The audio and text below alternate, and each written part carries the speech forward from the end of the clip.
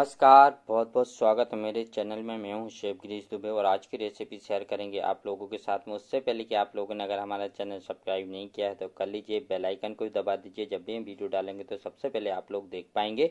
और आज आप लोग जो आज की रेसिपी शेयर करेंगे आप लोगों के साथ में, खड़े प्याज का पनीर, पंजाबी मसाला जो कि बेबी प्याज होता है, उसको हमने फ्राई कर लिया है पनीर लिया और रेड एलो कैप्सिकम तो चलिए हम बनाते हैं।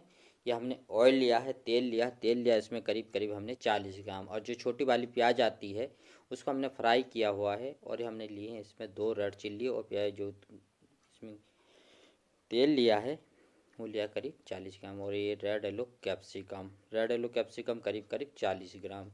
गार्लिक हमने लिया है, एक टीस्पून ग्रीन चिल्ली लेंगे एक टीस्पून ये देखिए ग्रीन चिल्ली दो ग्रीन चिल्ली कटी हुई और गार्लिक, थोड़ा सा चॉप, लहसुन, ये देखिए, खड़े प्याज का पंजाबी पनीर मसाला बहुत ही गजब की रेसिपी है और खाने में बहुत टेस्टी है, एकदम नई और डिफरेंट और ये देखिए, ये प्याज डाले हमने, जो बेबी प्याज हैं, उनको हमने तेल में फ्राई कर लिया था, छोटे वाले प्याज को।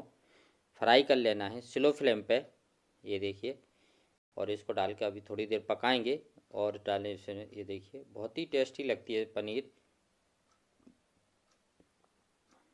थोड़ी देर इस तरीके से पका लेंगे और रेड आलू कैप्सिकम करीब सौ ग्राम, इसमें चौप मसाला डालेंगे करीब सौ ग्राम। ये देखिए, और हमने डाला नमक। नमक डालेंगे इसमें हम एक teaspoon red chilli powder और कश्मीरी मिर्च। ये देखिए कश्मीरी मिर्च पाउडर डाला हमने और रेड चिल्ली, एक के half half teaspoon half teaspoon इसमें हम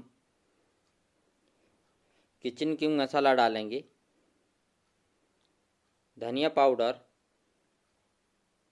चाट मसाला,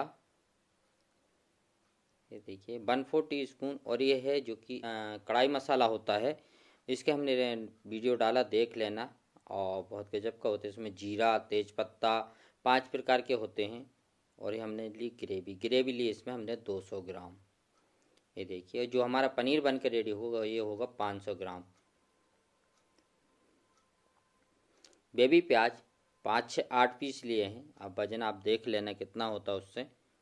ये देखिए, इस तरीके से रेडी करेंगे और हम डाला पनीर। पनीर लिया इसमें हमने डेढ़ सौ ग्राम।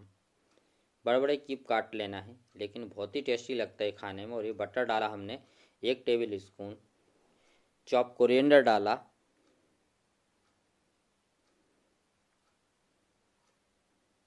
क्रीम डाली, एक टेबल स्पून ये देखिए तो इस तरीके से हम रेडी करेंगे। बहुत ही टेस्टी बहुत ही अच्छा लगता खाने में। इस तरीके से आप लोग बना सकते हैं और बहुत सिंपल है।